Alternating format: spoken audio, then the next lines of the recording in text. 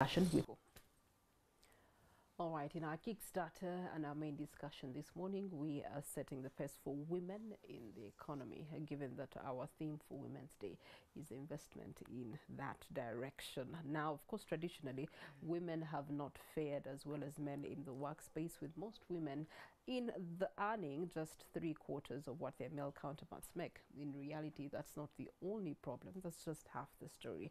When you look at the last 20 years, more women have opted to start their own businesses rather than uh, before even outpacing men, and they have been thriving in that direction. They may be few number, but they've been progressive. Nevertheless, the reality is that women can and should have a large presence in the business world, a pre precise uh, flavor when it comes to the women empowerment. And as far as intent is concerned that also should be a direction. But also in democracy uh, women should be continuously empowered and uh, thankful to our Ugandan government. Uh, there's been affirmative action that has affected perspective and interaction and participation of women actively in other elements of democracy. Now to put all this to bed in light of women's day that is taking place tomorrow being celebrated in Katakwi district here in Uganda we do have Patricia Munabi Babiha, Executive Director for the Forum of Women in Democracy, also known as FOWODE, here to join me in this discussion, unwrap it and also wrap it up at the same time. Uh, good morning to you, Patricia. Good morning. Uh, how are you today? Very good. And how are you? Good, thank you. Okay, let's talk about uh, women in terms of empowerment. Over the course of uh, years, uh, ever since the UN actually instituted this day uh, that should be recognized globally amongst its member states. Mm. What have you recognized has been the milestones, the achievements, the change in perspective and trends of women and active participation? So thank you very much and I'm glad to be here today to talk about uh, the 114th Women's Day. This day began to be celebrated in uh, 1911 and it's really aimed at, uh, you know, bringing to the fore the issues that still pertain in regard to the achievement of gender equality and building collective advocacy and voice towards addressing the gaps that, uh, that do exist. The theme for this year is Invest in Women, Accelerate Progress, and this is indeed a really uh, uh, critical theme at this point in time because a lot has been achieved in terms of uh, bringing women onto the, into the fore, out of the periphery, and getting them into decision-making spaces and changing their conditions in order for them to thrive. But a lot more needs to be done. And so with regard to your question, we know that, for example, the whole issue around debate on women's rights began to be talked about mostly in 1979 after the Convention on the Elimination of Discrimination Against Women was adopted. Uh, it is seen as the Bill of Rights for Women and it gives a good foundation for the work and the conversations that have been going on around the importance of ensuring that women are seen as, as humans. Uh, and, and, of course embedded in the Universal Declaration for Human Rights, mm -hmm. which says all humans are born equal with dignity and rights. And so that gives us a good foundation. Now, as a country, as you mentioned, a lot has been achieved for the women. Uh, we have, for example, in leadership, we have uh, many women that have come into decision making because of affirmative action that is embedded in our constitution. And so we see, for example, currently we have 35% women uh, in parliament on the affirmative action seat. We have about 41% at the district level because of affirmative action. Uh, we know that uh, we have uh, uh, a female vice president, we have a female speaker, we have a female prime minister.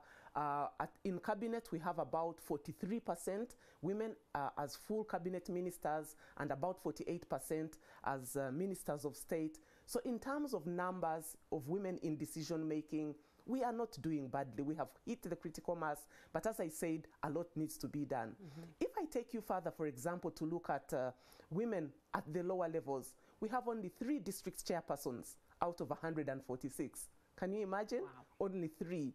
Um, when you go to the other sectors, look at government boards, we have only about 25% of women in uh, decision making on boards. When you go to heads of parastatals, it's also about 25%. So that's why we say that yes, a lot has been achieved, but much more needs to be done. Let us go, for example, to, to the area of education. Uh, we know that the government has indeed put in place a mechanism. We have universal primary education, we have universal secondary education. But when you look at the numbers, at entry, there is parity. But by the time you get to P7, many girls have dropped out. In fact, evidence shows that out of 10 girls that join primary, only three complete P7. And the same applies to the secondary level. Only about 34% of girls actually complete secondary education. So, what does that then mean? That many girls are dropping out.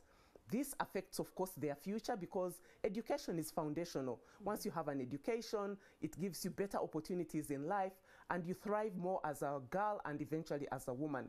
So, that means much more needs to be done in terms of ensuring that girls actually stay in school. And it is issues to do with uh, early marriage, uh, child marriage, issues around uh, menstrual health management. Uh, you know, girls drop out of school because they don't have simple things like sanitary towels and so on. They don't have separate facilities in schools for girls and boys, so there is no privacy. And then, of course, there's the whole issue around social norms and practices. You know, many um, rural communities, because of culture and tradition, Yeah, would rather marry off their girls than keep them in school. There's a, an African country, uh, of course, that had tabled a bill against, uh, you know, uh, female uh, mutilation. Now, uh, the leaders uh, on the floor of parliament were against it because they were. The argument was they'll be against the cultures that have for long actually Exactly. been appreciated by their mm. nation. It's like, So actually, that is at the foundation of what we need to do to be able to achieve gender equality.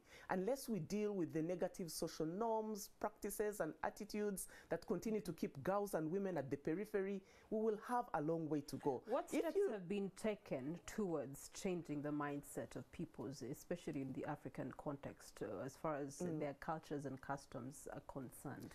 So a lot of work is actually going on. Maybe sometimes it's not in the limelight, but a lot of work is going on around raising awareness on the issue of rights because it starts from rights.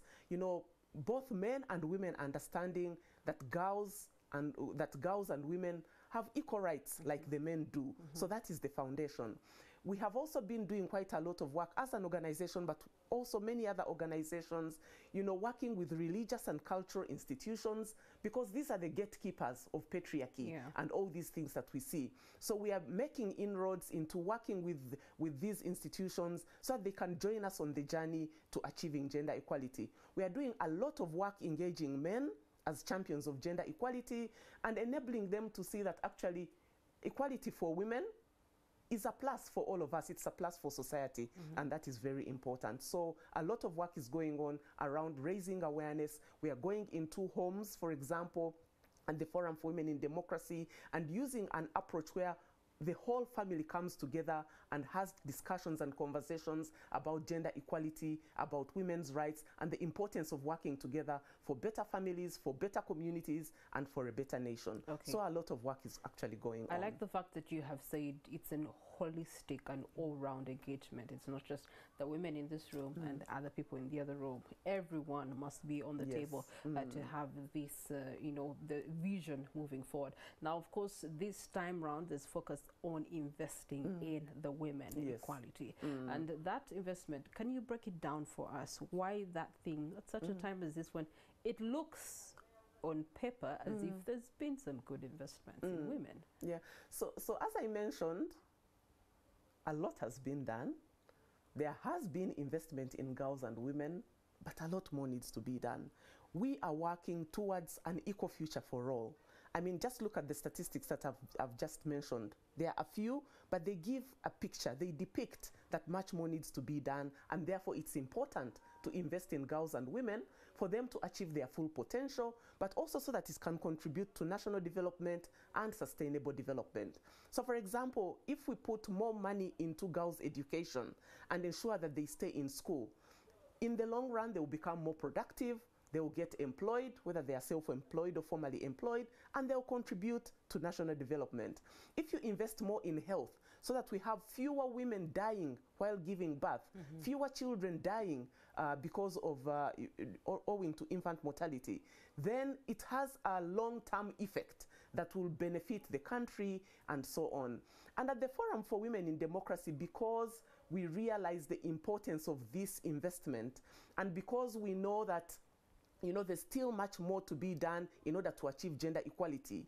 We initiated an, an initiative called the Imara Women's Center. Mm-hmm. We are going to establish a center that will be a space to facilitate women's independent voice, that will be a space for reflection, rejuvenation, nurturing, healing, and self care, that will provide a support base for women that are faced with sexual and gender based violence. It will be an empowering space where we also spur activism for zero tolerance to to sexual and gender based violence. It will be a place where we can facilitate networks and connections as we work together towards uh, a more gender equal world.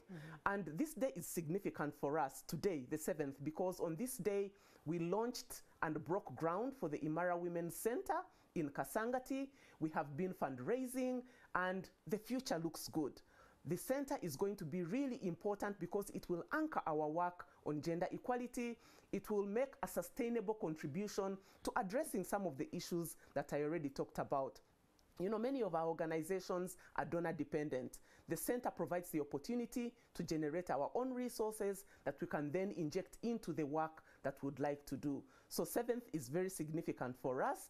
Invest in Her is significant for us as an organization mm-hmm. because we think that through the Imara Women's Center, we will be making an investment to ensure that we, we continue to work with and deal with the issues that I have already talked about and hopefully see more girls and women thriving and getting into the public sphere, into the private sphere, and, co- and contributing more and more to, to development. And so, uh, as we celebrate Invest in Her, as I mentioned, we are fundraising to be able to raise resources for the Imara Women's Center. We will be having a dinner on the 15th of June this year. So I'm asking everyone to save the date so that they can come and be with us as we celebrate women and contribute to the establishment of the Women's Center. We will also be having a Girls Festival on the 7th of September. Again, save the date. This is a really important initiative. It will be the first of its kind in the East African region. And so we are calling on everyone to join us to invest in her so that we can accelerate progress. Okay, invest in her begs a very interesting question. Who should be investing in her? everyone should invest in her. it is government, it is parents, it is the, the education system, it is everyone. So we are calling on each and everyone to invest in her. I mean, if you think about investment in, uh, in women and girls, I've already talked about the other sectors. In the workplace, invest in mentoring, in supporting the women to be able to get into the workspace and thrive in that space. If you think about education, invest in her. Think about quality education. Provide sanitary towels, emergency for the girl to be able to stay in school. Parents, invest in the girl child so that they are able to participate in, in the education system and also eventually, you know, thrive as, as women later in life. Um, when you think about the corporate sector, invest in her so that women too can climb up the ladder in the, in, in, in the corporate sector. And, and I like the start where you began with businesses. Wow, Uganda is an entrepreneurial country, but you know what? One in three businesses is owned by a woman. But when you go to the corporate, they're hardly there in corporate governance. So, how can we support women to participate more in the corporate sphere and so on? Okay. So it is for everyone to actually invest in girls and women because at the end of the day, it has a ripple effect and a positive impact on development. Okay. In closing, what would you be as recommending as uh, either uh, strategies or mechanisms that can be ad- adopted at different levels to be able to invest in our women? It's about, of course, resources. One thing I didn't mention is that we have a plethora of good laws that actually promote gender responsiveness. But the issue is resourcing those laws. And so implementation is not happening because these laws and, and policies are not well resourced. So government needs to invest more resources to ensure that you know the policies, the laws that we have are actually implemented. We also need to continue to do, do work around changing negative social norms, attitudes, and practices. You know, we have we are we live in a patriarchal setting. These things are deeply ingrained, and it is across gender. It is both women and men. So we need to do much more in unraveling and dealing with these issues that continue to pertain and keep women at the periphery. Okay, all right. Patricia Munabi, uh, thank you so much. Uh, just 30 seconds, your message to the women for Women's Day. So as we celebrate Women's Day, I call upon all women and men to actually invest in girls and women because it has a benefit not only for families but for communities and for the nation at large. So let us invest in her in order to accelerate progress and ensure sustainable and equitable development. All right. Thank, you very so much.